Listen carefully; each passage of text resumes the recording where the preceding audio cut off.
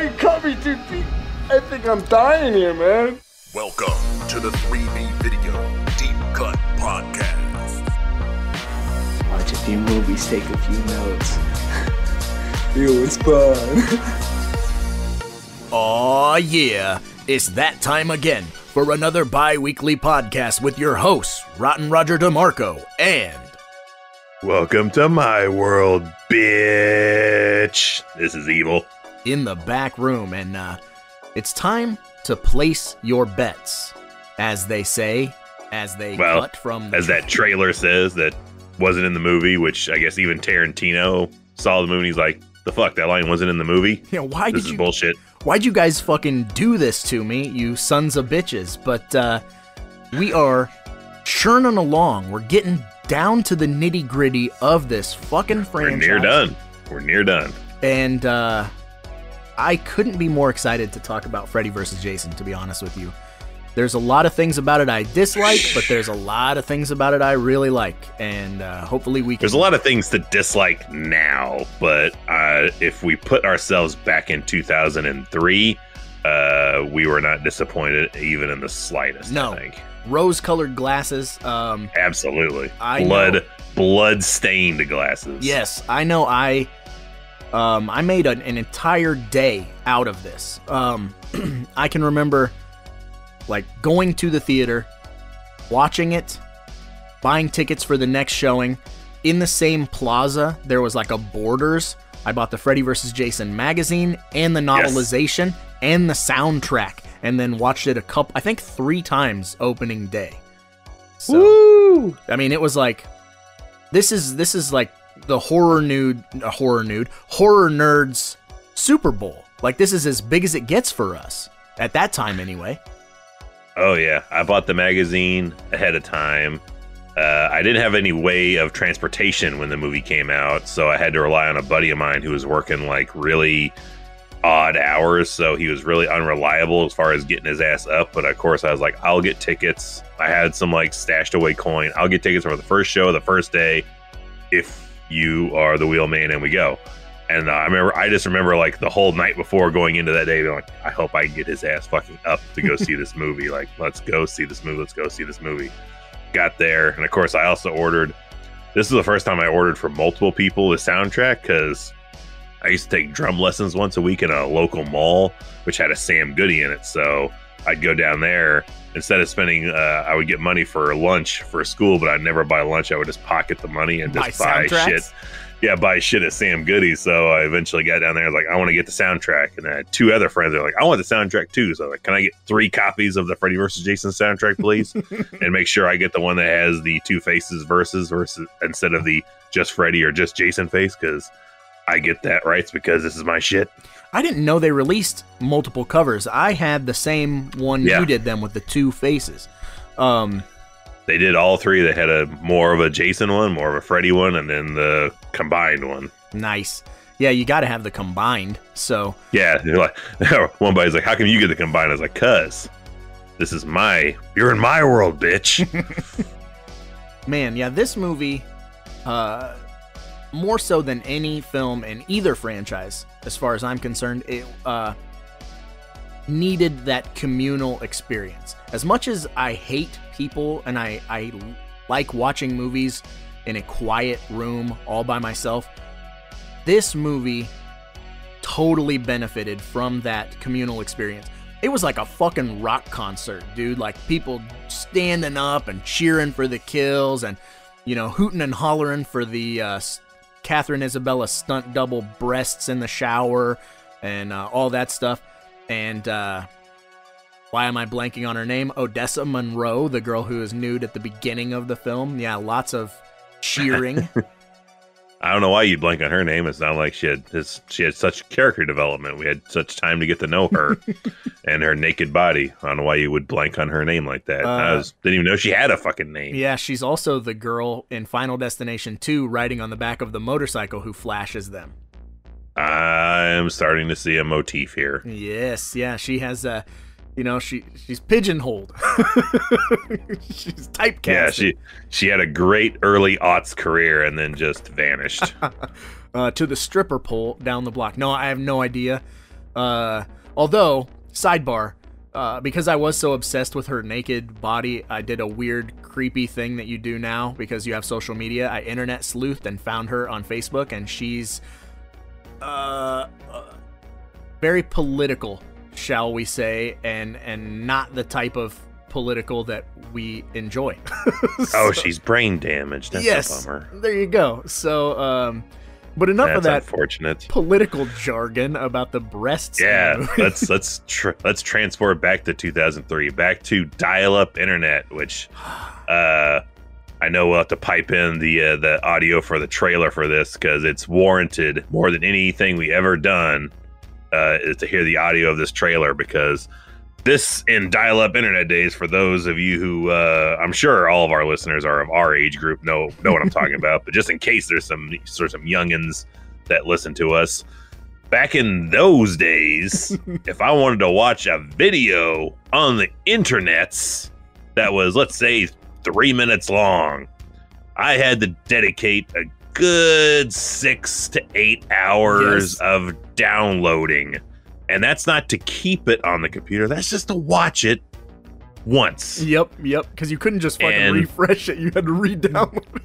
Yep, had to re-download it every time. Like if I turned the computer off, it was gone. I had to redo it again. And I downloaded this trailer no less than probably eight times. Watching it like an inch by an inch on your fucking real player or whatever. Yes, no bigger than what your phone screen looks like today. Like that's that's about the size of it. Smaller, and like a just flip watching phone, it like over fucking- and over again.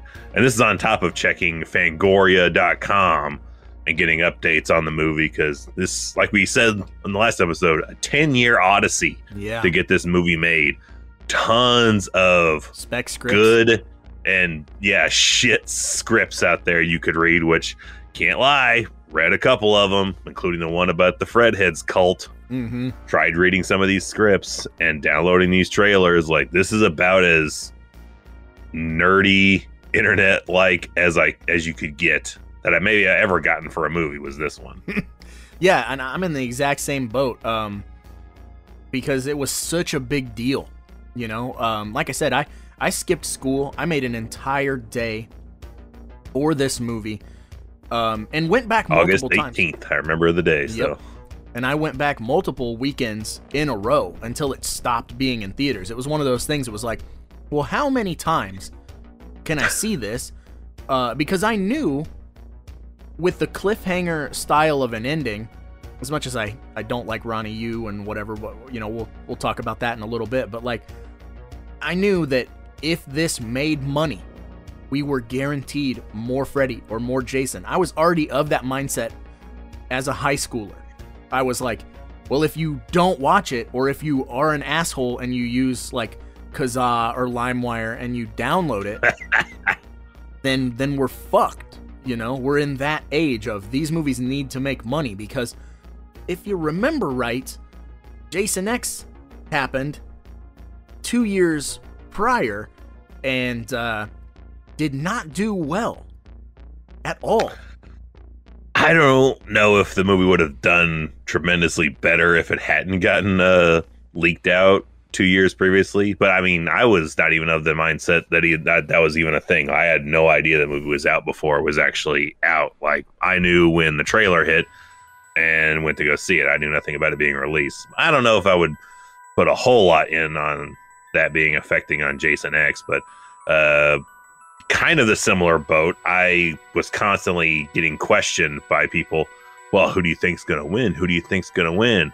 And being a wrestling fan, I already knew like motherfucker, nobody's gonna win. Mhm. Yeah, like you can't alienate half of the audience. Like it's gonna end very ambiguously, or they have to they have to fight for a little bit and then turn towards a third party yep. but there will not be a clear cut winner, regardless of what they tell you.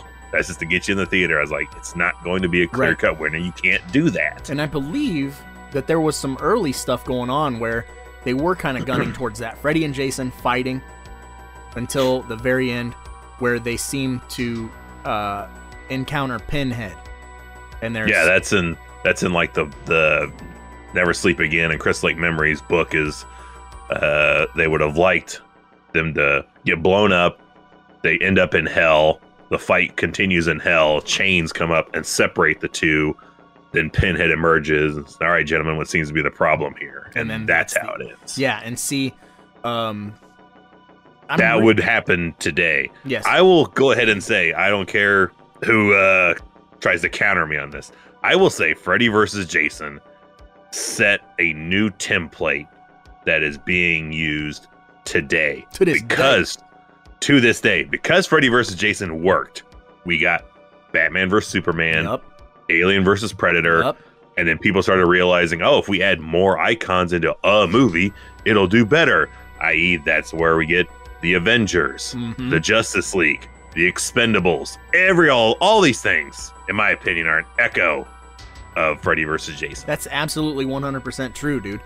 Um, because this movie was a box office juggernaut. This movie changed the game. People who weren't even massive Freddy fans were watching it because they were Jason fans, or vice versa, uh, or just horror fans in general. Not, not Just you, you just the the title alone would dra- draw people in. Like you couldn't name this thing anything but Freddy versus Jason. That Right. alone is like, well, I gotta at least come see what this is about. and it's very uh, uh, open for uh, if you're an MMA fan, and and you know that I'm an MMA fan. Uh, we refer to people who just watch it off and on as a casual. So you know they don't necessarily know uh, everybody's stats. They don't know their records. They don't know their backstories. They don't know all of this stuff. But they pick a, a fighter that has a hype train, and they latch on, and that's the greatest fighter of all time, and they're just called a casual. And horror kind of has that as well. Um, and with a movie like Freddy vs. Jason, you don't need to be a Freddy fan or a Jason fan. You just want to watch. What's the big deal? You know what I mean? Like, what's the big deal? What's going on? This is a new horror movie. They're both in it. Uh, and you'll go. It, same thing with the new Halloween stuff going on when thousands upon thousands of people watch these new Halloween movies and go, "But where's Josh Hartnett? Where's what happened? They cut they cut his head off. What happened? She fell off the she fell off the mental institution and died. No, I'd be like, sit down, sit down, Philip. We have so much to show you on this franchise that'll blow your head clean off. yes. So uh, it's okay, and there's room in the sandbox for everybody.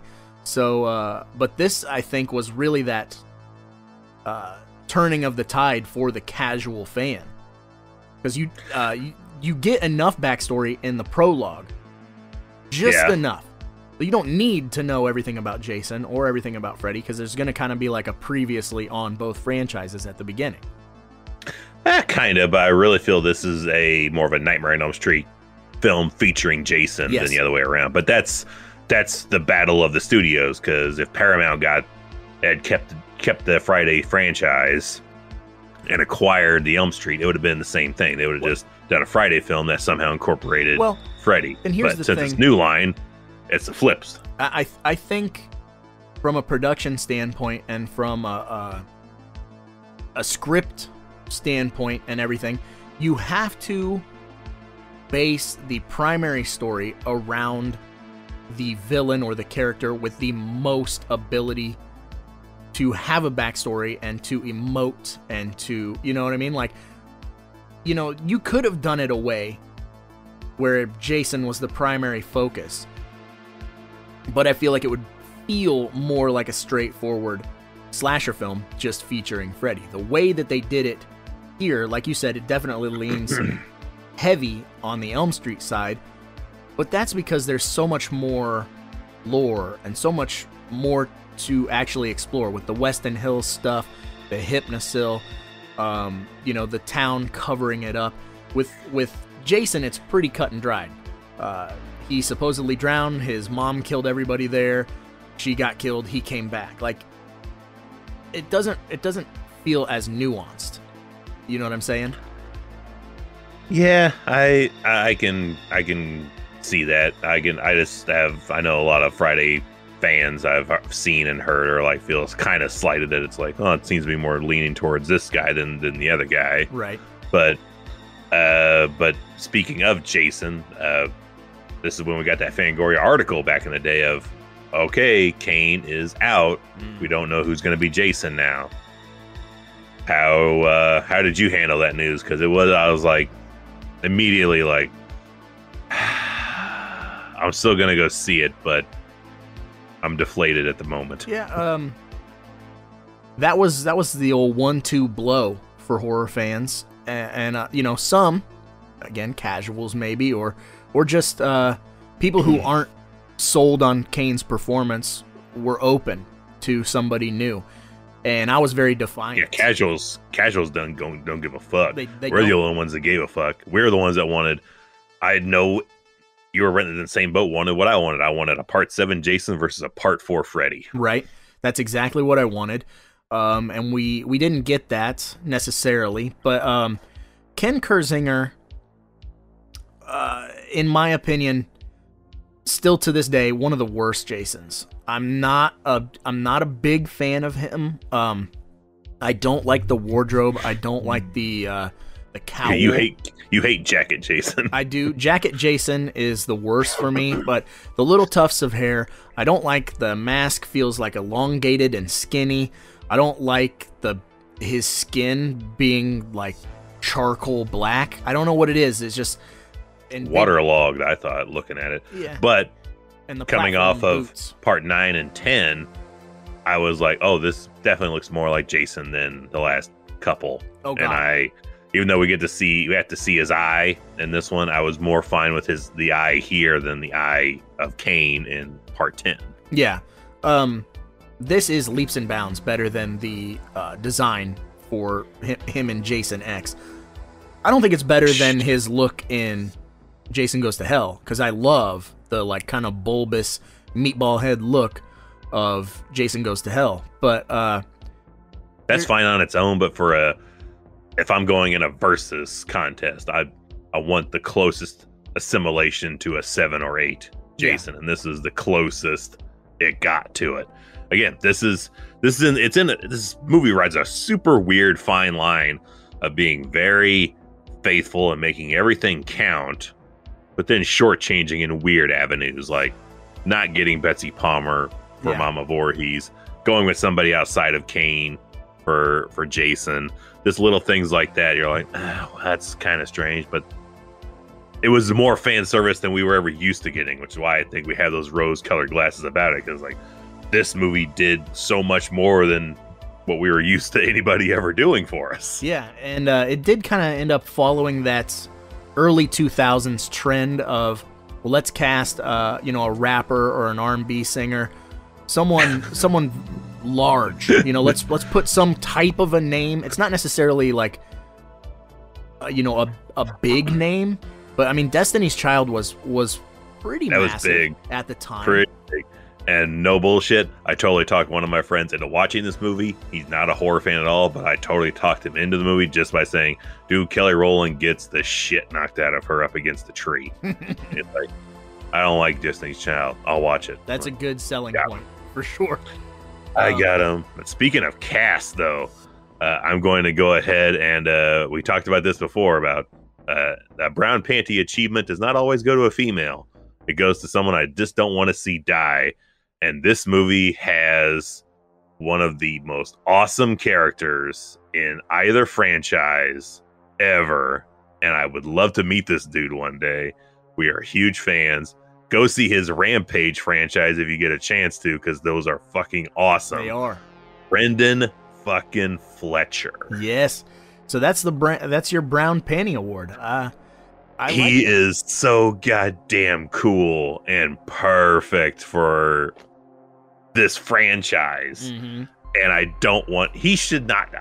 I don't want him to see it see him die. You can kill Jason Ritter Oh god, I hate anytime at any point. I would be fine with it. His facial reactions are kind of weird in places like I'm not sure if he's looking sad or mad or like he's gonna laugh. Yeah, he's fighting back a sneeze. That's kind of his like, you know, nostril acting. Uh, Billy Butler calls it nostril acting, where you kind of flare the nostrils and stuff. But uh, that's one thing that is worth bringing up is that uh, originally Brad Renfro was going to Yeah. play that role and was cast and had already done, uh, you know, readings and Screen tests and shit with uh, Monica Keena. hmm who I hate, by the way. I hate Monica Keena. I'm on the Monica Keena murder train. But um I like Monica.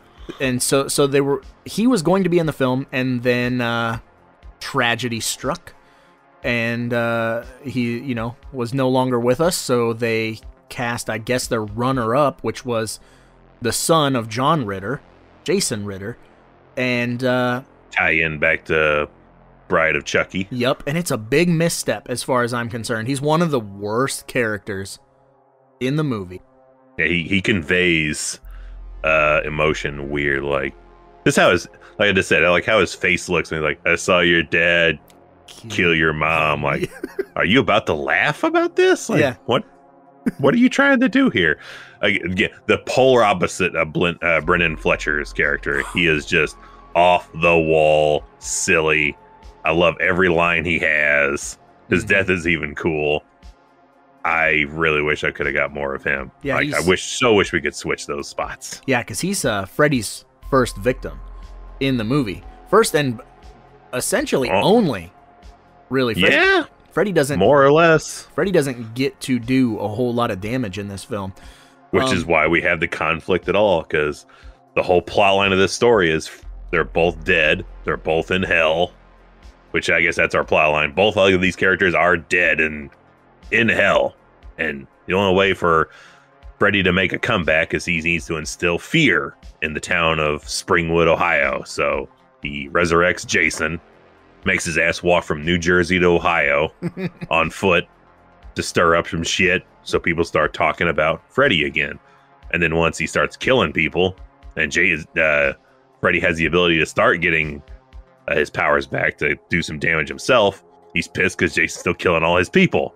So then it becomes, no, that's mine. No, that's mine. And then butting of the heads of these two horror icons. Yep, and then they got a scrap. Uh, as far as my brown panty award goes, uh, you know, it's it's super obvious because his his character is the one that you kind of like and uh, you don't want to see anything bad happen to, but you know it's going to anyway, and that's Linderman.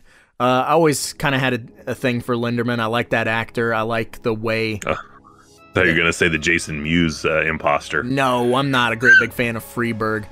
This movie has a lot of things that I'm not a massive fan of, but like as a whole, a collective, this movie is super fun. It gets thrown on a lot. It's, you know, but I can't help it every time I watch it kind of wince at some of the stuff like uh can't do this podcast without talking about my absolute vile hatred of over exposition. And this movie, it's like, to me, sometimes it feels like it was written in crayon. Like, it's so childish in the amount of, hey, do you know this? Like, the worst thing for me is in the school. Do you know why they say that? That's because that's when he comes for you. Like, literally, like, mm, I hate that I thought you were going to go with the classic uh, Freddy died by fire, Jason by water. How can we use that? We use that. That's number two on my list of fucking See, bullshit lines of dialogue. I can't I can't say the first one because that's a Brendan Fletcher line, so it's fine. I always like his follow up line there where he's like, Coffee, make friends with it. That's, uh, I, I just feel like the screenwriters, uh, which why am I blanking on their names?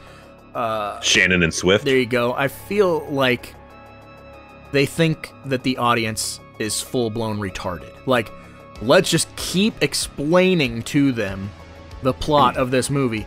It- like this is an hour and 31 minutes or whatever, and it flies by lickety split. So why do we need every human character to fucking blurt out the plot line every single time we're in a new location? We're at the school, we need to know the, the plot line.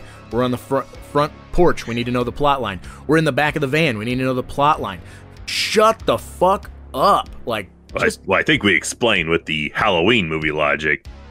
There's a lot of stupid people out there, so maybe that is a necessity. But this also had, I think, initially like a two hour and 20 minute runtime. give it. Like when they were doing the initial script reading, and they decided to cut that down to 90 minutes, which I'm like, Yeah, we today it would be that.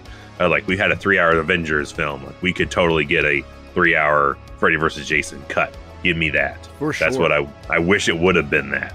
Yeah, I, I will take that as well. Um, but yeah, that's that's really my main gripe is the the overuse of exposition in this film. But other than that, it's a very like str- straightforward, silly, fun popcorn movie. Um, where we, you know, we got Katharine Isabelle, who went on to become a scream queen in her own right. Monica Keena, as much as I dislike her, did have sort of a brief stint as a scream queen for a few years. She was in the Night of the Demons remake, which is phenomenal.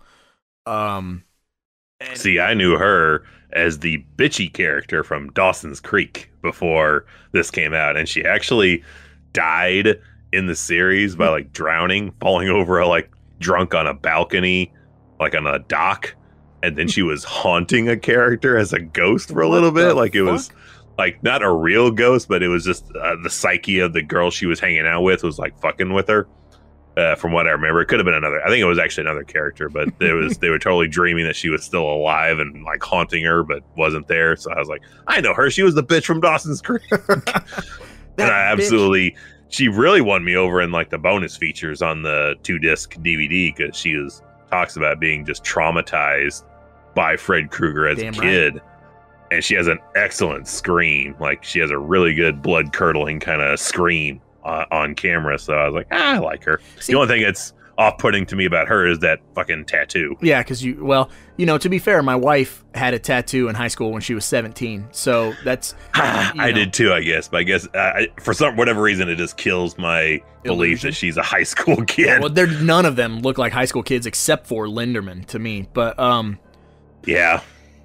uh, I don't know where I was going. I had something. Um, oh, well, Was that no. ever was that Everclear kicking your ass? Yeah, kicking my ass. Uh, no, what it is is, it it might not necessarily be Monica Keena that is my problem. I think, and I've said this before. My my big big big problem with this film is allowing Ronnie Yu to direct this film. Uh, in my opinion, I have no idea why they got him. in my opinion, ruin the Child's Play franchise. Even though I'm not a massive Chucky fan, three is top tier. Like Evil and I both are one, two, three kind of guys, uh, and sparingly. But I just feel like when he took over and did Bride of Chucky, uh, the tone of everything changed, and it makes me angry. And I feel, and he had never seen a Child's Play film. And same thing with this. He had never really seen an Elm Street or a Friday the 13th film, and they let him take the helm. And I think, uh, you know, as a director, he's obviously not the director of photography, but his input is the final say. So some of the way that Yeah. these scenes are are put together or the direction that he's giving people just the way the overall vibe tone of this film is uh, is a little bit of a, a mishap for me. Although as as a whole ride it's fun but you can't help but stop and go why was that choice made? Why was that choice made? But we still got Freddy versus Jason so you take what you get and you don't throw a fit. Yeah, this is that falls under that category of uh like, well, we have so much stuff that's faithful to fan loyalty, and then you have some stuff like hiring a non-fan to to run the show. Mhm. It's like, okay, that was an odd choice, but I mean, yeah, we this was still like the very like the the tide was turning on fan input on being able to have a voice, maybe too much of a voice in what direction a movie was going to take with what they do in it. But I will give I don't know whose idea it was if it was if it was Ronnie Yu's, probably Bob Shaye's because it feels like a Bob Shaye idea. But I totally dug the uh, promoting of this movie with the Vegas weigh-in. That had to be Bob Shaye, dude. That screams, it oozes, drips sleazy Bob Shaye marketing, but it's wonderful. It's one of the funnest things Yeah. as a bonus feature. Yeah, if you don't know what we're talking about, it is on the two disc uh, bonus feature. I'm sure it's on in the Blu-rays, but they did a Las Vegas like boxing fight night weigh-in with Freddy versus Jason in character, doing official weigh-ins, face-off, and then like a little bit of trash talking on the microphone, which Well, yep, which is great because Jason doesn't fucking talk. yep. Yeah, the mama's boy here. He's big, he's slow, and he ain't got Yes. no style. Can't speak for yourself, hockey puck. Uh, that drives me nuts though, because the way Ken Kirzinger grabs his machete, he grabs it by the blade. That annoys me. it annoys me to no end. Like, never in the history of ever would Jason like grab the his machete by his blade and like lunge at somebody. I don't know. I'm just nitpicking. I'm fucking nitpicking things that have yeah. nothing to It's do with the movie. It's it's nitpicking. I imagine it was just probably just tits ahoy for for Ken there to just be in that environment doing that thing like this is crazy. I'm doing this. Like Yep. it had to be just uh, off the charts wild. And he is a big fucking dude, and I know Real that was one of the reasons they decided to go with him. Uh, I know some of the story is, oh, I played Jason before, but yeah, I know there were there were talks. I don't know if it was again. I don't know if it was. I think probably Ronnie. Yu uh, really wanted a mountain of a man versus a little scrawny little dude with uh, which I, I've not met Robert Englund or see him seen him in person, but I know he's a relatively small guy. he's like five we seven. have met Ken, and Ken is a mountain of a man. for sure. And another thing, I will give Ronnie Yu some credit because he wanted Jason to be Frankenstein esque. Yeah, That's like the big thing and all the special features. Like, hey, I, you know, Frankenstein's Frankenstein esque and a monster. cra- like a crazed samurai. hmm And so uh, it really shows when you look at like him walking through the woods at the beginning. That like just super slow Lumbering. lumbering, yeah. Um, and the jacket must be a Frankenstein thing. Like that must be a Frankenstein design point because Frankenstein always wore like a fucking suit kind of thing. Um, kind of. It also hides more of a shit you don't want to be seen. I, i.e., you know, the where the sleeve ends on Jason in part 8 kind mhm. of thing. Yeah, Cover more of them up, so less you have to worry about, yeah. It's less makeup essentially. and Um, easier to cover up shit when things start getting messy. Because Oh, uh, I don't know how this movie did not get uh the ranking for highest blood like by gallon for a long time because man is there so much blood when these two start fighting it out in the real world it's uh it's Kill Bill levels of blood, like like the Bride versus the Crazy 88. And the only thing that saved Kill Bill from getting an NC-17 or an X was the fact that they turned that scene black and white because there's so Genius. much blood. Um, but in Freddy versus Jason, most of the blood that comes out of Freddy and Jason is kind of like a a darker, you know, not quite realistic color. But uh, but boy howdy, is there a lot of it? It's almost black, like uh, Evil Dead Two levels at certain. yeah points. like definitely uh, jason's blood like when uh, freddy knocks the rebar off the top rung of the construction site Hey, and you see the asshole. rebar get up here, straight New York accent for no reason. Yeah, you get that rebar through Jason's like chest and his knee. Like it looks like black blood just spurting out periodically. Like it's not constant. That's the that's the thing that makes it like a fun house kind of thing. Is it's Mhm. like squirt, squirt. Man, the torpedoes. Uh, and and another thing that I constantly kind of have to defend when it comes to this movie is uh, you know people saying, well, why? Because there's a scene when Freddy and Jason are fighting in a dream, and Freddy kind of figures out that uh, Jason backs up when it comes to water. So so Jason, uh, so Freddy makes Jason surrounded by water, and it turns him into a little child, and he's laying there whimpering and stuff. And you and I have had this conversation before because um, people always go, "Well, why is Jason afraid of water?" Um, and it, and it's like it's not necessarily that he's afraid; it's subconscious because you know, in Jason Takes Manhattan, he walks on the bottom of the ocean uh, because he is a mindless, well, not a mindless killing machine, but he's he's on a mission and he knows that he can't be harmed, he can't be hurt, he cannot die. He's in the to go deep. He's in the real world, Mhm. and this is all shit that's in his yeah deep buried subconscious, which is why you go to a therapist to explain your dreams. Like Yeah. what's what what's your body and your mind telling you that you don't really know yet, kind of thing. Exactly. And so for everybody out there who gets in a hubbub about that, it's Jason is not really afraid of water. It's just his inner child is afraid of drowning. Yes, there you go. And that's plain and fucking simple. That's as that's as deep as this script gets.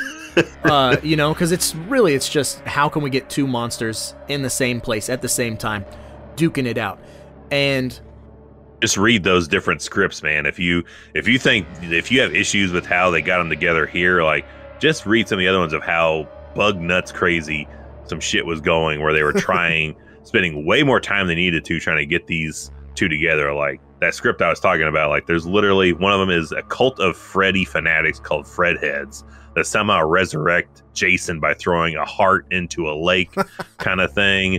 I know there was a, t- and even when they got to the script they actually ended up with, there were initial scenes of like courtroom shit Right. and being on trial, and I was like, wow, it- like it went everywhere. Yeah. There's things went every which way but loose in this 10 year time frame of getting this movie made.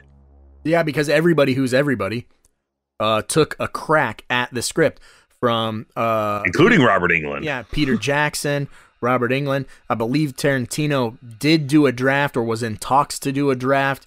Uh, just pretty much everybody. But teasing me with that shit. that like- would be amazing. Tarantino doing Yeah. a straightforward horror film.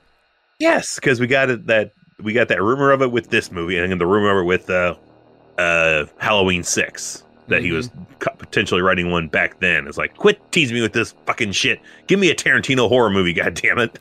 Uh, yeah, and then uh, we'd have to deal with a bunch of fans going fucking bananas, like with the Rob Zombie stuff. The the fan base is, uh, you know, rabid. They're like, oh, they either fucking love it or they hate it, and uh, you know, it No gets- one loves anything anymore. This is 2021. Everyone hates everything. Everyone so just expect everything. everyone to hate it and move on. So yeah, then if Tarantino was to do do a horror movie, people would be like, "Oh, he's gonna have his cool hip dialogue, and he's gonna have the N word and this and that." Yes, because that's how Tarantino writes, and let him do it. Uh, but either way, if um, it wasn't, it wasn't. We would hire McG. So fuck off. yes. But dude, let me say, uh, as far as a, a movie promising to deliver, you know, a lot of movies uh, set you up with a trailer and and and give you the warm fuzzies, and then they don't deliver on the night. It, you know, you you leave and you go, well, I saw that, and you're a little let down. Uh, Yeah. As far as Freddy versus Jason goes, walking out of the, I'm getting goosebumps right now. Walking out of the theater after that experience, uh, despite silly dialogue or silly exposition, whatever, the monsters fighting 100% delivered. And rather than just give us one, they had to have one where Freddy has home field advantage. They had to have one where Jason technically has home field advantage. You know, so we got a couple of really good, lengthy fights too. Not just like, oh, they're gonna, you know, swing at each other for 20 seconds It's and not- it's over. Yeah, not not close ups of just sharp shit into other sharp shit like Yeah. a Transformers movie. We got to actually see what the fuck was going on in the fights. Yeah, it wasn't I'm a looking mu- at you, AVP. I'm Yes. looking at you. uh, and it wasn't a Mike Tyson fight. You know what I mean? It wasn't all this build up and over, which is what I they kind had, of They expected. had great, great moments of peace. Like I love when Freddy is doing his straight up some kind of MMA shit where he jumps up the back of Elbow. Jason and kicks like his knee, like or the back of his heel into his into his gut, and it kills me every time. It's probably my favorite part of the fights is when at the end when Jason throws Freddy halfway out the window in the cabin Mhm. and then runs him down through all the other windows like a bar tab. I'm like, oh my well, and and again, that gets me every time. I fucking love it. And you get the classic Freddy like ah yell the whole time too. I'm like that shit. I love it. Well, and it also it really appeals. Obviously, you know, you and I have not uh, necessarily matured much from our high school years, but uh, I, I'd like to think that- Whatever. I've got a house now. I'm mature. yeah, right. Uh, filled with a bunch of Decorated it with toys and shit. but you know, um, it really did appeal to our our, our teenage sensibilities of uh, right down right from the first thirty seconds. Here's some nudity. Here's uh, you know, here's a little bit of backstory.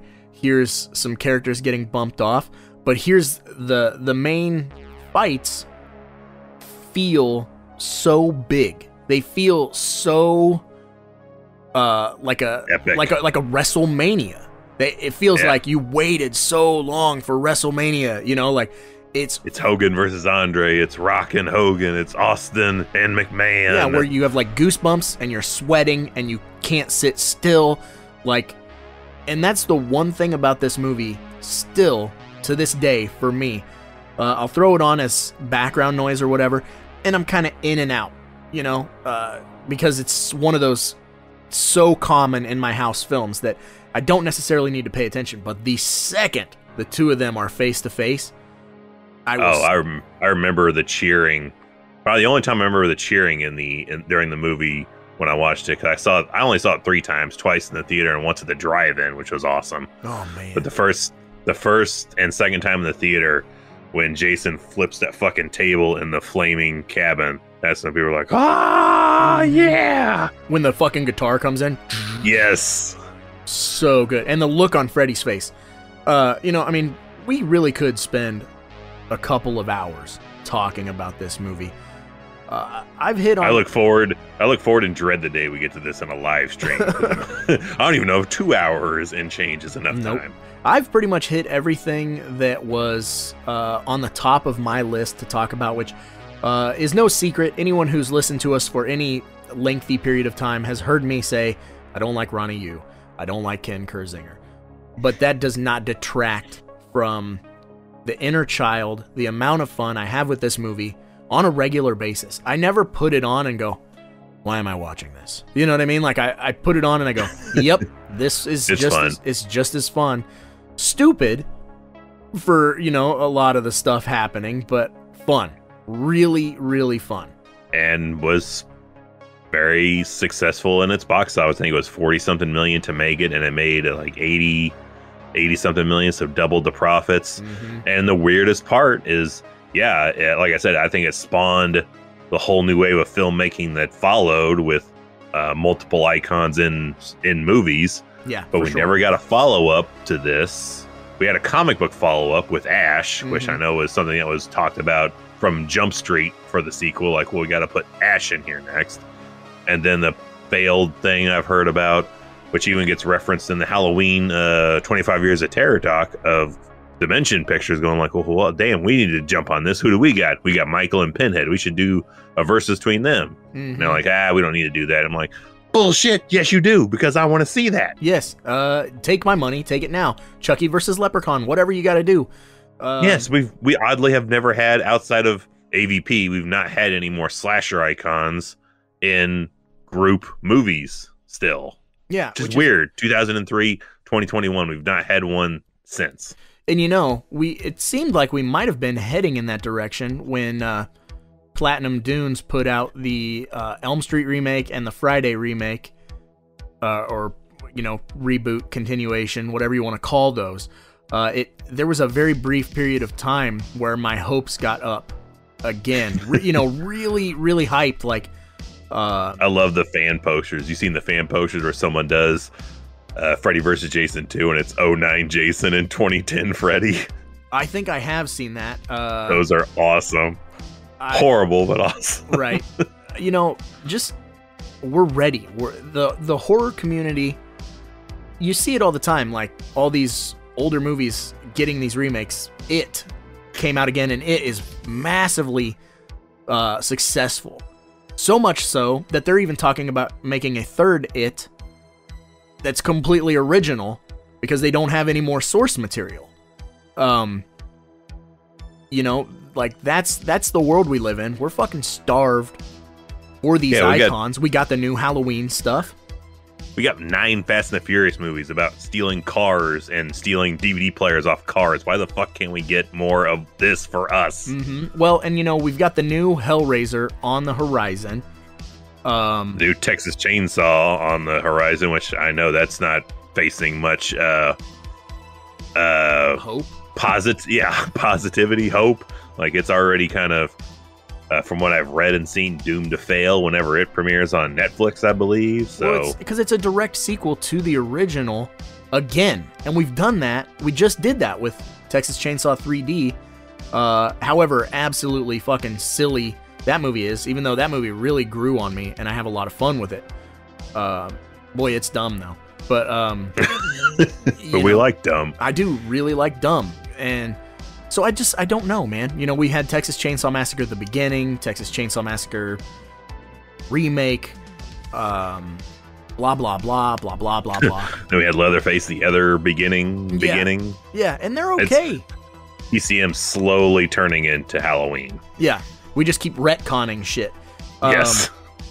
but but that's what we're saying. You know, we've got the new Hellraiser coming out, uh, and actually Hellraiser Judgment, which is a few years back, where they didn't use Doug Bradley, they used some other fella, and I can't think of his name off the top of my head. He was amazing. That movie, is- Really, he, he looked like Derek Mears a little bit to me. it's disgusting. It feels like a Silent Hill movie featuring Pinhead. Um, Hmm. but that bullshit one that Dimension Extreme put out, Hellraiser uh, Judgment or whatever. I might be thinking of that one. the that's the found footage one. Oh shit, I don't That's terrible. Uh, whatever it was called, I don't even know. I don't even own that one. There's a found footage Hellraiser movie. yeah, I don't even know how many of those there are. might I'll send you a trailer for it. But yeah, it's not good. But no, Judgment I think was the newest one, and that's the one that feels very Silent Hill esque, and I really liked it. It's uh, it's like a detective story, uh, with uh, Cenobites. But um, Probably one of those, just like a ninety percent of the sequels are spec scripts, or like just throw some Cenobites in there and make it a Hellraiser movie, and bam, we got, it, we got, we got it. We're done. yeah, well, and you know, it, but it does feel very Hellraiser, but on a new, like, kind of grimy, gross, more gross. I feel than old school uh, Hellraiser stuff, to be honest. But um, I I think you know we're just we're ready for that. We're ready for some of these uh, icons who haven't had a moment in the sun to get a to get a big movie. You're not you know you cannot tell me if you took Leprechaun from the new Leprechaun Returns and you and you put him in something with Pinhead, we would roll our fucking eyes like slot machines, but we would be like, I'm buying that day one if it's direct to video, or I'm going to rent that, or go see that in theaters. Like, it would have to make its money back. You let a guy like Psych, the directed Psycho Goreman, Steve Kostanski, because he made the Leprechaun Returns movie, and it's amazing. Let him a young kid with crazy ideas with stop motion and green screens and you know all this madness big monsters and let him helm one of these versus movies and watch the world of horror fans geek the fuck out Uh, I'm all for that as well. I can't think of a versus one I would do. I would I could come up with off the top of my head, but the just in what we were just talking about with TCM, I totally could think of one for that. Like uh, I know recently this a big thing recently is starting to put uh, horror icons into games officially, which uh, Terrordrome is the non-official real uh, horrors of uh, icons of horror versus each other Mortal Kombat style So game that you can get out there, which is awesome just to watch game footage of that because there's so much love put into those uh, illegal games. yeah the character But- models the stages all great But the big thing they started doing is putting some of these characters in other games, like the Dead by Daylight, famously putting a bunch of horror icons in, uh, putting a bunch in Mortal Kombat. And I think one recently was a Call of Duty putting in uh, Leatherface. And I, I thought when I first saw that, I was like, I don't know about a game, but I would love to kind of see that as a movie, like really kind of like Mad Max style, like not a real story to it, like just just do a 90 minute siege movie of a SWAT team or a high high end military group trying to infiltrate and take over, you know, the Sawyer house. yes And you get that you get that conflict of the high end tactical planned out shit versus these, you know, uh, grassroots uh, backwoods hillbillies. Like and to see the difference and how they combat. And like that'd be a hell of a Texas Chainsaw movie just just to see. But just yeah, I'm ready for more. We just got a new Candyman, which is a, uh good, really good sequel slash reboot of sorts. mm-hmm. So yeah, I think we're we're ready and give us give us the Avengers of horror, really. I'm tired. I don't want any more of the. We had the Avengers of horror, but they're not playing who we know them for playing. They're We're playing other you, people. Death House, you terrible pile of pile of shit. Yeah, that stuff. I'm like, no, give me Jason, Freddy, Michael, put them all in something. Mm-hmm. Give me, give me that, and it will easily make a hundred million dollars, even if it's the worst thing you've ever seen, because people will not be able to not watch it, including me several times. And I've already bought the Blu-ray 3D, holy shit, 4K edition, and it's not even made yet, and I don't even own a 4K, but I've already got already got my money saved for it. Yep. No shit.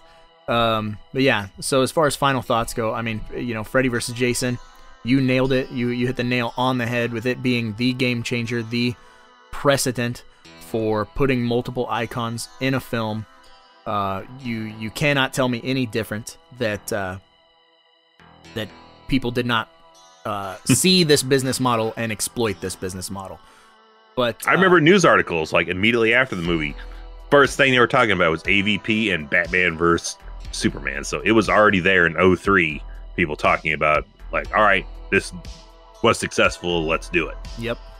And this is just a fun ride. Um to me a lot of the stuff hasn't necessarily aged well, but uh I find myself watching it all the time. I find myself feeling like a high school kid. Um, Yu know. It oddly ages better than the 010 Nightmare remake. Oh, it sure does. It really does. But it, I think it's because so much of the real uh, Freddy tone is there. Because, Yeah. You know, it's it's pulling from a place of love. Even though Ronnie, you hadn't seen those films, Robert Englund was pulling from his uh, previous portrayals as Freddy Krueger. So I fucking love his uh his shadow uh on the street scene. That looks awesome. yet. It may not have worked great. Like that shadow of CG still looks better than the CG of him coming out of the fucking wall in the uh in the remake. for sure. and well, man, it's, it's a shadow, it's that- smoke. So That bed folding and half kill, that was the first big like tone setting kill of this movie. and, And, that was the other thing I remember people not quite cheering, but you could hear like, oh Mhm. when that happened. And It's it still kind of does that when you watch it. Yep. Real good. Um Man, that dude deserved to die so much. like Man. as soon as he pop- that dude popped on the screen, like, oh, it, never has anyone had the dead meat more tattooed across his head than that guy listen, in either franchise ever. uh if you get to put your penis in Katharine Isabelle, you be nice. You be nice. That's all I Don't- gotta say. Don't touch me after. smell like menthols. I only smoke when I drink now, but you're always drinking. I'll work on that next. yep. Uh what do you see in him? I don't know, but he has a cute butt. Um good lord. Uh, Him and fucking Blake, two complete dipshits. Yeah, won't you go I did like that hot second though, right before Blake realizes his dad is dead, and he like looks where the direction his dad's uh, head is looking, like trying to looking see what he sees. Yep.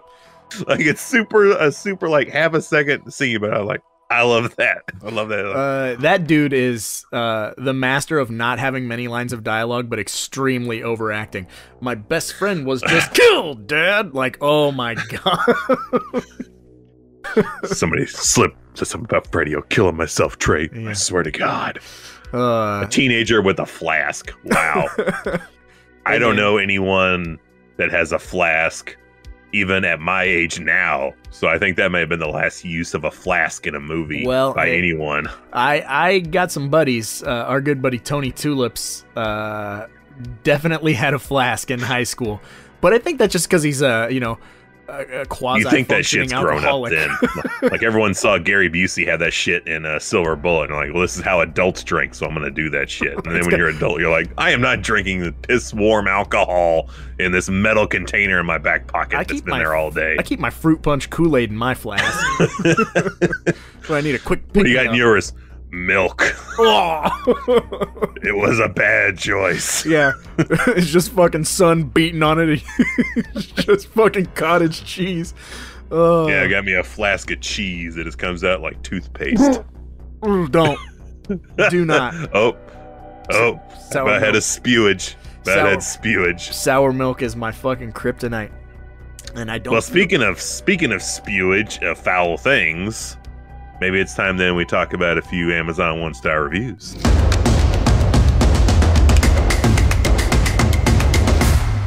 Hated it. Oh my goodness! Uh, surprise, surprise! Uh, one stars for Freddy vs. Jason were fairly plentiful, but I decided not to go too bonkers with it.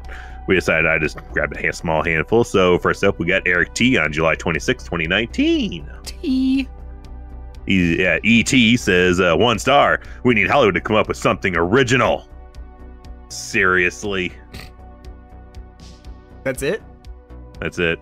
Well, you know. Well, he uh, has a he has that emoji of the face doing the chin scratching oh, thing there, but I don't know how to convey that in an Mm. audio form. That's pretentious. Seriously. Mm-mm-mm-mm. Fucking dildo. Get out of here. Uh, next on up, we have Christian Little. I hate this spelling too for Christian. K R I S T I A N. Mm. Christian Little on August 13th, 2019. One star, horrible quality bootleg film. Well, don't bootleg. You got that off LimeWire. yeah, along now with your computer has has herps. Uh, next up, we got the returning uh, ever faithful Rondell Dale Branch. All right. I'm not sure how to take this uh, out of. I would see this as a one star, but I'm, uh, I'll just read it. On uh, January 9, 2018, he says one star, one star. Received two copies of bonus features. Never got the movie. Well, that's a good day. Imagine all this hype material and then you can't actually watch the movie. Well, at least you oh, I get well, the way in. get well versed in uh, all the behind the scenes. I've got that really long, weird feature of the uh, slash slashing camp uh, summer camp thing, which I really said I have no idea what the hell that all was. Was that just like a crew like thing? I You remember watching know- that on the bonus know what you're features? You don't know about? There's uh, it's on those bonus features, and it's like it's a legit summer camp video of someone filming them at a summer camp, like a bunch of adults like doing crafts and like they were gonna do a wet t-shirt contest and a dude just pulled his pants down they blurred out his dick but he's like just flapping around his dick Mm. And they do like it's like a and the wrap up with they're doing an outdoor screening of the movie and right when the movie's gonna start is when the feature ends Mm. it's just a weird i'm like who are these people Yeah, I don't know. I I don't remember that at all. Must must have only watched it once and said, "Well, I don't need to watch that." You know. break out that break out that dvd dust it off and and and watch that bit again let me know what you think I tend to watch So- the DVD a little bit more than I watch my Blu-ray because um, my DVD has a full frame function, and if you watch Freddy vs. Jason in full frame, um, they were completely anticipating it being widescreen. So, uh, like when Freddy's hand comes out of the magazine and rips off Kelly Rowland's nose, the effect isn't finished.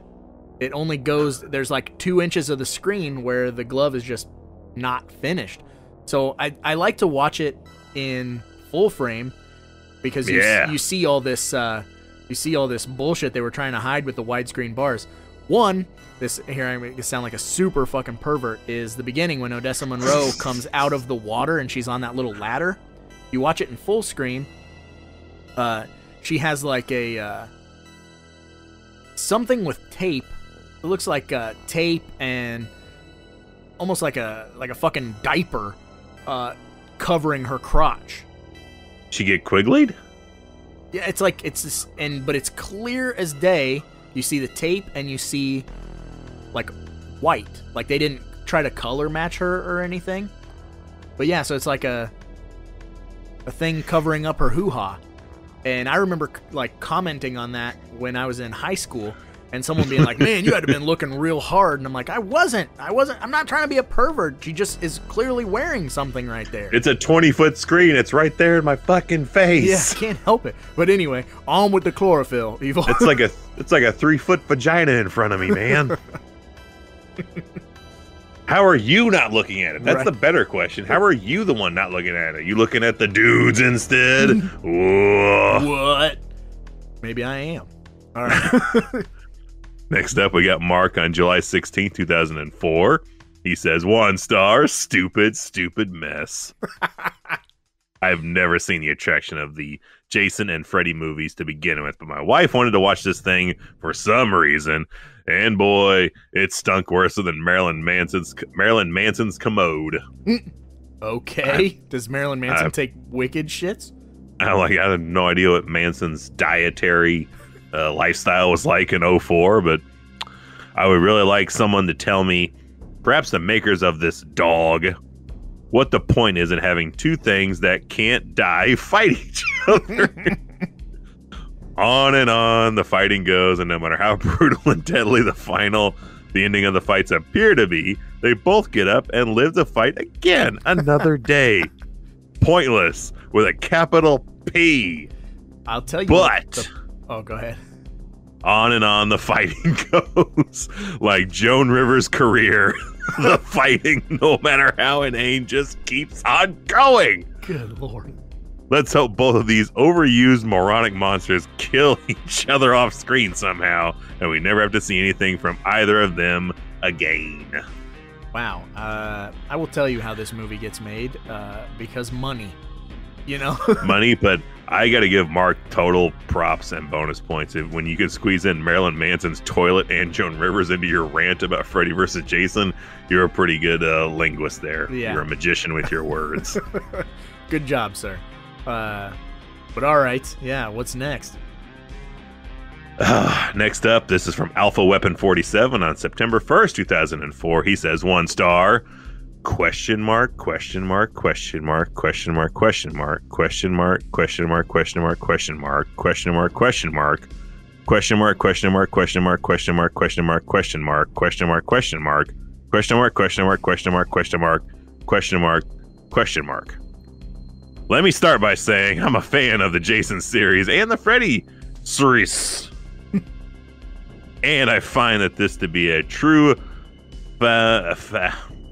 trying to stay familiar with failure in the horror series.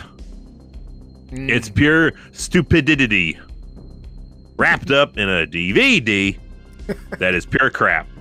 I'm giving it two stars only because it did give me some small bits of enjoyment and it was better than the monstrosity of pure stupidity they call Jason X. But watch Freddy and Jason fight for yourself. You might like it. It's okay, but the original of both Files is way better. I mean, way better. I think I'm just like, of all the shit he misspells and fucks up, he spells mon. I guess it's more. Okay, I thought he spelled monstrosity right. It's actually, he, if I pronounce it how he spells it, monstrosity. mm, there you go. I like. I corrected it for him. Monstrosity. That sounds like some shit Ultimate Warrior would say. Uh, I think. He's just, I think Monstrosity. he's just mad that he wasn't in the movie because he's the alpha weapon. Um, I like that he gave it two stars, but he ended up giving in his review, but he gave it one star in the official Right. rating. And yeah, uh, watch W A T C H and series is constantly spelled S C R I S. Sirs. Wrapped with only one P. Stupidity. Stupid I D I D Y. Mm. Alpha weapon. alpha weapon. All right. Alpha weapon. You got one more? Actually, I have two more. All this right. one I'm gonna have to back up a little bit because again, all in caps from old Stephen Williams on January 29, 2004. One star. Nothing but laughter. How can anyone watch this horrible movie? This was such a stupid movie. Usually, when they take my girlfriend to see a scary movie, she spends most of the time holding on to me. But this time, we were laughing our asses off at the supposed to be scary movie. It was more like a comedy show and had no plot whatsoever. If you want to see something ridiculous or funny, buy or rent this movie. But if you want to see something scary, go rent Halloween or something like that because this is nothing. This movie is nothing but a joke to me. So he's just mad that he wasn't getting uh, loved on by his old lady. I, I took her to a horror movie and she's laughing. Like, this is not going to get me anywhere. Not gonna get no play tonight, baby. Um, yeah, I'm sorry, dude. Uh, just you know, tickle her on the way home or something. I don't, I don't know. Uh, so last one is an Amazon customer. So I guess Rondell Del Branch decided he didn't have enough to say, so he came back again to The tell return. us more. Uh, a year previously, on September 14, 2003. So this is hot off the presses Mhm. after this movie came out. Not even a couple, not even a month after this movie came out. Uh, Rondell has to get onto the Zon Wow. and tell us one star. Catch up, anyone? okay. Yes, I really did not like this movie. The truth is that it really did not have a point. I guess someone might like a movie where nothing gets resolved and the ending is inconclusive, but not me. You should only go see this movie if you want to see people get killed. Well, yeah, that's what the butts are in the seats for. There is no other reason to see this movie. Pirates of the Caribbean is a much better and actually scarier. Don't waste your time or money on this piece of trash. Trash. Trash. You trash. Wow, I can't like a month after the release. A month after it, and I, I like the title of Catch Up Anyone because, yeah, blood a plenty in this movie. So that is our conclusion of the Amazon Uno Star reviews. Yes. Well, now that we're done with that segment, uh, that can only mean one thing, Evil. What does that mean? I guess it's time we play the game. It's time to play the game. Time to play the game. It's all about the game, and you play it, and I can't come back if no one remembers me. Perfection, perfection, perfection. Uh, for those of you who are new to the podcast, welcome. And this is the Deep Cut Podcast. So, how we do this is every episode at the end, we do a little game called the prop game where you have to pick a prop from the film, but it cannot be a prop that uh, is blatantly obvious. So, do not say Jason's mask, Freddy's glove, uh, Monica Keena's tits, whatever. It has to be Whoa. something that is a deep cut. Uh, you're the last in line. You've worked on the film. You get to go through the warehouse and take something from the film. So it's not going to be something um, I mean, if you took if you took Monica Keena's tits, that is a literal deep cut. wow, wow, wow. Yes, it is uh, to get those silicone fun bags. Hobbity, hobbity. But uh, so you got to pick something from the film that's sort of an oddball choice. And uh, let us know if you're a Patreon in the comments what you would pick, or just find us everywhere, anywhere on the internet on our Buddies Forever Discord or our YouTube channel 3B Video, and let us know what you would pick from this film. But Evil, it's been a hot minute. Uh, I'm gonna let you go first today. You know, you would think being with such anticipation, I would have a litany of things I would want to take from this movie, but uh, outside of you know obvious shit, trying to actually go uh, by our own rules of deep cuts, uh, I really just kept coming back to the most inane of things, and it's like one of the uh, like cable wires that are in the boiler room Mm, okay. slash uh, grain a s- grain silo in the dream sequences, and I take that uh, one of those cables just because it was in the trailer. It's in one of your first shots with Freddy, so I just I'll have that piece and I'll think it's inane enough that it won't take up a lot of room. It'll be a conversational piece, and I'll see that and immediately think of the hours and hours I spent downloading that goddamn trailer and watching it over and over again and seeing Jason and Fre- Freddy on the screen for the first time in a long time and seeing him fight Jason. Like, I just think of uh, one of those cables hanging in the uh, silo slash boiler room. I almost went with one of the like the locker doors on one of the lockers, but I was like, ah, give me one of those part of one of those cables instead. So mine's a super bizarre one uh, this week for sure. Very nice. Uh, well, I'm kind of in the same boat because, like you said, there's a ton of things. Um, wardrobe tends to be one of the things we lean towards is wardrobe. Um, some sort of uh, random piece that some character wears, or You want uh, the van, don't you? no, um, you know, mine is actually a uh, a piece of furniture, and I am going to take the table from the cabin that Jason gets his machete stuck in. Oh, I, I like that um, because then that could be a centerpiece, not only in my movie room, I could put that in my kitchen or my dining room and, uh, you know, forever have dinner on that table Is the machete still stuck in it? Uh, I would not have the machete in it, but I would, you know, obviously not fix the hole. So I would put a dull, dull down machete blade in it, so it's like it's never gonna hurt you, but I can't not not have one in it. Right. Um, there was a couple other items that I had thought about. Um, one being the flag that Linderman uses. Um, I, I just think of the movie The Patriot when that slow time. motion scene it happens. Yep. He's fucking charging with that flag. I'm like, he should just be Mel Gibson.